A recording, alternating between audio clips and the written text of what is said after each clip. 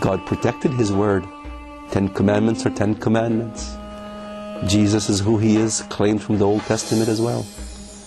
There is no claims for Islam in the Quran. The only claims is the punishments that the Muslim world will get in the ends of times, as written in the books of Ezekiel 28, 29, 30, 31, Isaiah chapters 10, 11, 12, 13, 14, 15, 16, 17, 18. Read them. Lebanon will be destroyed by the mighty one. That is very clear in the book of Isaiah. Isaiah 19, the Lord will come on a swift cloud to fight Egypt. Isaiah 19, Muslim country. The Lord will come down, it says. He will come down personally. Habakkuk chapter 3, he will fight Midian, an Arab country. Isaiah 63, he will come out of Edom, the Arab Muslim world, with his garments sprinkled with blood. When Jesus comes to fight, he will come to fight the Muslims. Jesus is not a Muslim, Jesus is a Jew. The message of Christ has been predicted thousands of years ago. And all of a sudden, when Muhammad, the Prophet of Islam, produced a message that is contrary to that message, and the Bible warned us that there'll be many false Christs amongst you, but God will bring out a remnant from these people. God will bring a remnant, come out of her, my people, and He will bring those remnant. And the remnant that will come out of Islam, He promises, we will be with Him forever. We will reign with Him from Jerusalem, not from Mecca. Jerusalem is the holy place. Mecca was never a holy place in the Bible. Abraham never built the Kaaba. Abraham lived in Israel. If you want to know what David Daoud said, then read his book, the Psalms. If you want to know what Zechariah said, read his book in the book of Zechariah. And in chapters 12 and 14 of the book of Zechariah, it warns the Muslims I will make Jerusalem a trembling cup to all surrounding nations. The houses will be rifled and the women ravished. In other words, yes, the Muslims will partially take over Jerusalem. Then the Bible says, and the feeble amongst Judah will fight like King David.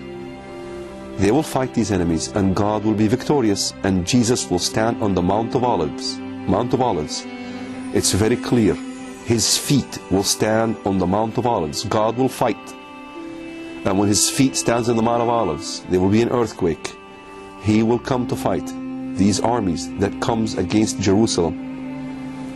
In other words, the source behind the Quran and the source behind the message of Muhammad was very satanic.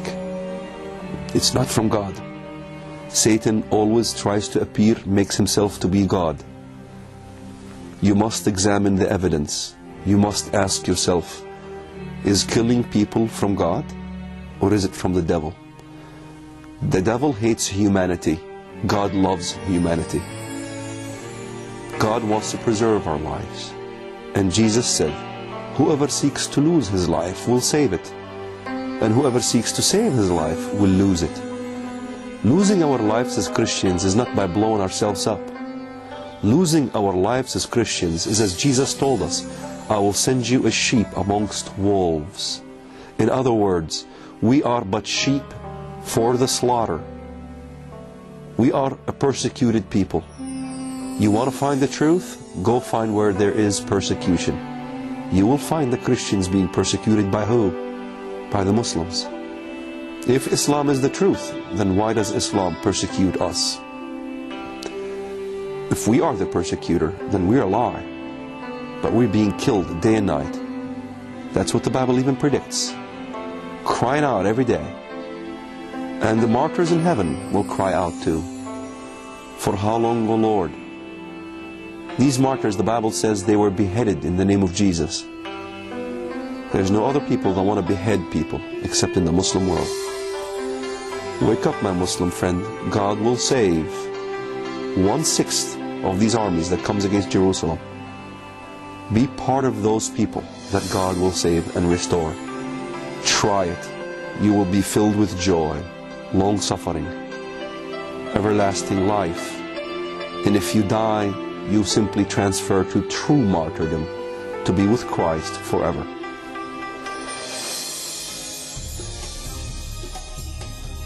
I pray for my family all the time. Most people think that when you become a Christian and you from a Muslim background that you hate your family. In fact, it's the opposite. The family hates us. This is why every Muslim should ask, why are we hated by our own family? Yet we still love our family because the Bible says, love your enemies. Do good to those who do evil to you. So we love our family. And we pray for them continuously that they read the Bible. The Quran is not the truth. The Bible is. You, you cannot find the truth unless you go to the Bible and read what the Bible says. So I always pray for my family to read the Bible. I always pray that they pray in the name of the God of Abraham, Isaac, and Jacob. The God, the only one God, the true God, to pray in His name, to seek the truth. And Jesus said, and this is what I pray for them all the time, that they seek with all their soul, their heart, their mind, their might.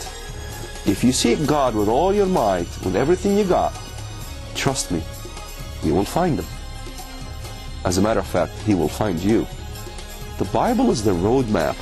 God has one roadmap, and the devil has another roadmap. The devil's roadmap is the wide gate in which he invents cults, religions, isms, and God has a narrow gate in which he tells us to detail what's going to happen in the future. I mean, it's amazing. How much evidence do we need to establish a case? I think the prophetic evidence in the Bible is overwhelming. I can spend a lifetime just talking about the prophetic evidence in the Bible. Yet when I look at the Quran, I don't find hardly anything. What, that the Persians and the Romans will have a war? And Rome lost, and in the end they will win? That's no major prophecy. This is one of the prophecies in the Quran. That's like a soccer team playing a match. One of them is going to be the winner. What other prophecies in there in the Quran? Well, the Hadith has several prophecies in the Hadith. But those prophecies are the antithesis of what's in the Bible. These prophecies have been taken from the Bible, convoluted, in order to destroy the Muslim. Loving the Muslim is to tell him the truth. Loving the Muslim is to tell them their destiny. If I'm going to go to hell and you had the truth, and you didn't tell me that truth, and I ended up going to hell for the rest of eternity, I'm going to be cursing you for the rest of eternity for not telling me the truth. Telling the Muslim the truth is something that is an obligation for us as Christians. We don't hate the Muslims. To love the Muslims is to bring them out from eternal damnation. This is why the Muslims think that our message is a hate message, and it's not, it's a love message. We don't hate the Muslims. If I'm going to fall into a pit, I want you to stop me, because if I fall into a pit and die, what use are you as a friend? I am your friend because I love you, because I want you to receive eternal salvation with Christ.